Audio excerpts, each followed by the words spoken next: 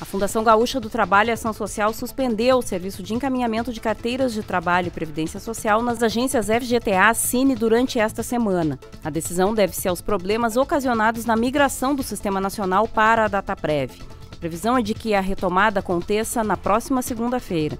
O sistema de encaminhamento de seguro-desemprego e de intermediação de mão de obra também apresenta estabilidade.